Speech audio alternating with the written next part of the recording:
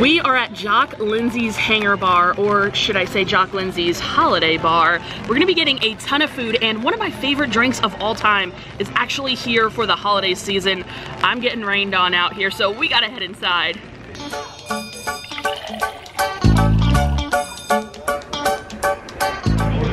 The decorations inside are so awesome. I love that they decorate this bar. I wish kind of more bars around Disney did something like this. It's just it's just so fun. It's such a good way to get you in the holiday spirit.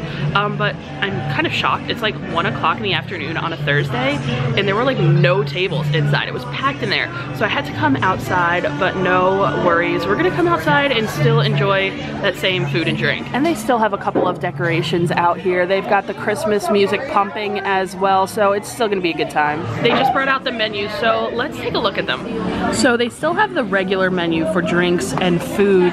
You can get anything anything that they normally have all year round. My favorite thing to get is that Air Pirates Cargo Loaded Pretzel. It's a, like a charcuterie board in a soft hot pretzel. It's so good.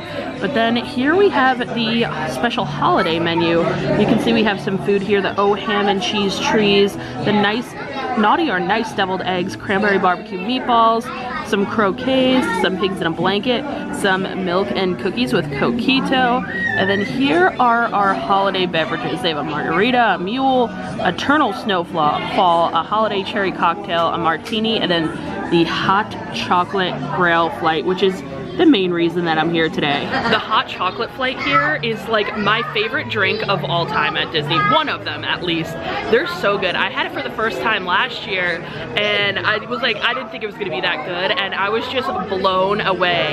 In terms of food, I think I'm gonna get a couple of different things. I can tell they're big fans of like puff pastry here. A ton of things on this menu involve puff, pa puff pastry, but I think I'm gonna get the O ham and cheese trees. I think I'm gonna get the cranberry barbecue meatballs Actually, I'm definitely getting them because they have goat cheese. And then I was thinking the pigs in a blanket. You guys know me. You know I love a good, a good little uh, glizzy. So I think those those are a requirement. Everything kind of all came out at once and uh, let me tell you guys, I am blown away. If everything tastes as good as it looks, we're in for a treat. I cannot wait any longer guys. Let's dig into this hot chocolate flight. So we have three different flavors here. This one on the side is the spice caramel with Captain Morgan spiced rum. Then in the center here this is the cookies and cream with white chocolate and Stoli vanilla vodka, my favorite. And then here's the peppermint with Bailey's Irish cream and creme de menthe and white liqueur. Oh, guys, this all looks so good. Now I love all three. All three are amazing, but my least favorite of the flavors last year was the peppermint one, the minty chocolate one. So let's, let's, we'll do the build up. I'm gonna save the best for last. So good. Mmm. The hot chocolate is just like so fresh with a little kick of the mint. such a rich, kind of almost like a thicker hot chocolate. Mmm. Like this, this screams holiday to me. I remember the salted caramel being my second favorite flavor last year. I really like they had like a little salty, salty bits on top. So let's try this one now. Mmm that salted caramel one, guys. The salt, the salt does it for me. It's just like the perfect, perfect touch with the hot chocolate and the caramel and the Captain Morgan in there. Mmm, it's so good. And that's so good. And I haven't even had my favorite one yet. Oh, you guys know.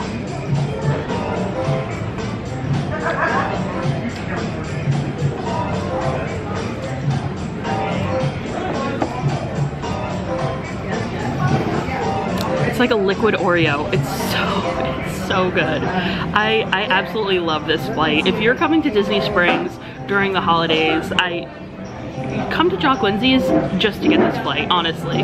While I can't get enough of that hot chocolate, it's time to dig into some of this food. And how good does all this look? I don't even know what to get into first because I'm just blown away, blown away by the presentation of all three of these dishes. This, they look like seriously gourmet Christmas treats. I'm so impressed. First, I think I'm gonna have to choose the ham and cheese Christmas trees. I'm gonna put this clip of when they brought them out. The presentation is so fun. They kind of like have a dome over it with smoke and they lift the dome and unveil these beautiful looking Christmas trees.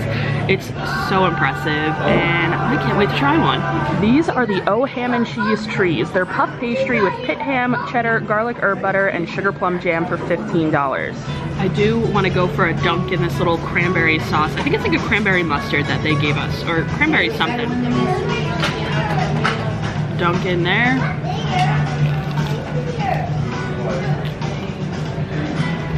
That is so good. I also really love the like herb, uh, I think I think it's like a herb butter with some Parmesan on there. It's, it's kind of tiny. I don't taste much ham. I'm just getting like a lot of cheese and then the puff pastry, which I'm not mad about. Um, it is it is very, very good. And this little crispy, crunchy fried cheese on the end. Love that. While I do really enjoy these ham and cheese trees, I wish the flavors were like a little bit more complex. They charge about $15 for this dish, and while I love the presentation, I, I think they're so adorable. Like, I just wish the flavor was like a little different. I don't know. Um, it just needs a little bit more for me. I don't know how to explain it because it's pretty basic. Like I feel like I could easily make this at home for like five dollars and make like 15 of these. Um, well, they're good and they're super fun, but I would say they're probably not worth it. Hot chocolate break.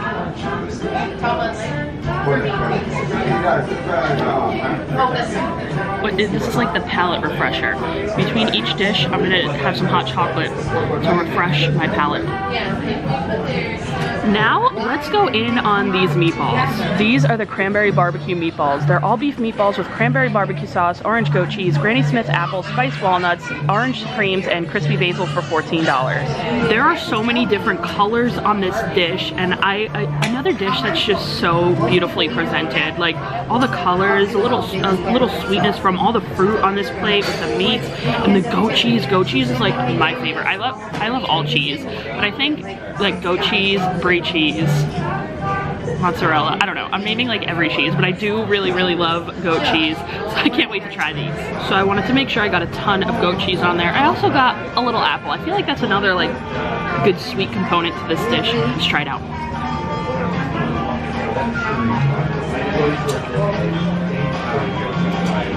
The meatballs themselves have a great flavor, but they're very, very hard. Like, I wish they were a little softer, but all the flavors of this dish work together so, so well.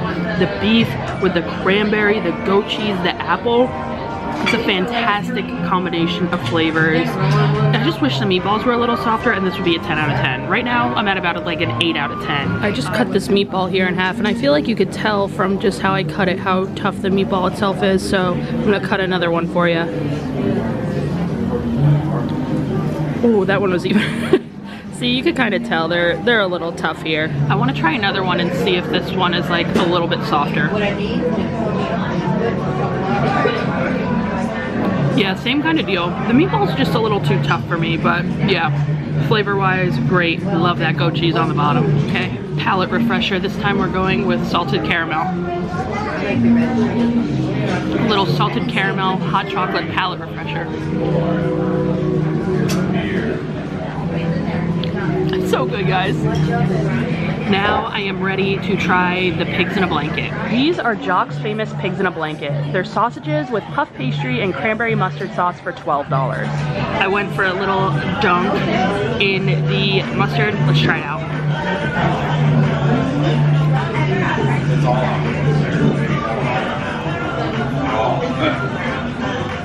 That's good. I love the puff pastry with this cranberry mustard here. That was pretty good. This is such a classic holiday appetizer, done so well.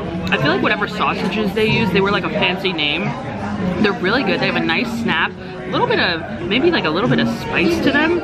Um, but with that cranberry mustard, man, this is a knockout. Really, really good. At $12, this is a huge portion. There are 1, 2, 3, 4, 5, 6, 7, 8, 9, 10, 11, 12 little hot dogs. So this is like the perfect appetizer for you to share with a big party. Everyone gets a couple. Um, I'm loving this. Overall, out of the three dishes I tried, I actually think the like pigs in a blanket are my favorite. I really love the flavors of the meatballs. Just the meatball itself wasn't executed well. Ham and cheese was pretty basic. I mean, this is basic too, but it's the most well executed, well-rounded dish on my table right now. I also tried the, I think they're called like the Here We Come croquet. It's like almost like a turkey croquette. I tried them last year. I remember them being pretty good. And then they also have like those deviled eggs, remember? But they have mayo in them, so I couldn't get them, but they're fun. They're, like the eggs are dyed like red or green. So another fun dish. I think they do such a good job with all the presentation here. Like you can't look at this video and not tell me that you want to eat all this food. It's all presented so perfectly. I need another palate cleanser. Going for the mint this time. These are just too good, guys. I'm telling you. Best thing on my table, though. Just sitting here, enjoying the vibes. My last sip of the cookies and cream. That was perfect. It had all like the little Oreo bits on the bottom. That, that was the best sip, honestly. I can't get enough. I wonder if you can get like, although I really like all of them, and if you haven't tried all of them, definitely try and get all of them. But I wonder if you could like double up your hot chocolate. So I wonder if like you can get all cookies and cream or two cookies and cream and one caramel. Or I wonder if you could just order like one individually. I don't know. I'm actually gonna ask my server and get that answer for you guys because now I'm curious. Okay so I got that answer for you guys. This quick. Um, they're not able to change it up so you do have to get all three and you can't order just like one. You have to get the flight. So that's kind of good because then you get the chance to try them all. It's it's super fun. It's such a fun flight all the food is so fun. The food wasn't like amazing, but like it's just so fun that a bar kind of does this for Christmas. Like I said in the beginning of this video, I wish more bars at Disney do this. Like some bars will get like a specialty drink or a specialty food here and there, but this is like a full extra add-on menu. Like, I feel like Nomad could have a really good one. I feel like Geyser Point over at Wilderness Lodge, even like Three Bridges, put a little holiday decor up, have like a couple different new foods for the holidays, a couple different new drinks. I don't know, it get people coming in and it get like the locals like me especially super excited to go to these places that I've already been to and it get me in there in the month of, November, of December for sure. Now that we finished all that food, there was another thing on the menu I was tempted to get. They have like a coquito and cookies situation. Um, it, I'm just one person here, so ordering that would have been quite excessive. I can't really eat much more. Um, but yeah, that sounds really interesting. I, am pretty sure I've heard like mixed reviews on it. Some people say it's good and some people say it's not so good. So let me know in the comments if you've had that before, if you like it or not. I've never actually had that from here because I always end up getting the hot chocolate flight. So I don't want like the coquito, but I'm interested to try it. Maybe I'll have to come back and get it one time. This will be needed. Well guys, what a good, good time this this place really puts me in the holiday spirit. I know for the Christmas party, I wasn't like in the holiday spirit yet. I wasn't ready for it. I was like kind of in denial that it was already Christmas during Mickey's Very Merry Christmas Party. And even Jollywood Nights, and Jollywood Nights we all know wasn't my favorite. Um, but this, I think coming to Jock Lindsey's has finally put me in the Christmas spirit. I don't know. but it's so fun here. And if you're coming to Disney Springs in the next month or two, um, I definitely recommend you check this place out. Whether you're getting dinner somewhere else um, and just stop in for a drink, you can do that too. Stop in for a drink, stop in for a little appetizer before your dinner, or just stop in for dinner altogether. I recommend you check it out. Before I head home and out of this rain, I want to thank some Patreon members, Michael, Emily Mulligan, Lindsay, Ashley, Misty, Paul, Lisa, Barbara, Kara, Angela, Dustin and Nancy, John Paul, Leah, Tracy, Loco, Armando, the Latham Thomas family, Adam and Jen, Wayne, Carol, Karis, Marie, Dante, Shelby, Daniela, Marcel, Erica, Linda, Mike, Christina, and Brittany. Thank you guys so much. I've kind of snuck away here into a little cupboard area. I finally found one And yeah, thank you guys so much for watching. I hope everyone has a great Thanksgiving. I'm actually filming this video a little bit beforehand because I'm gonna be heading home for Thanksgiving and I'm very excited to head back home to New Jersey. So I'll see you guys next time in a little bit later this week. Bye guys.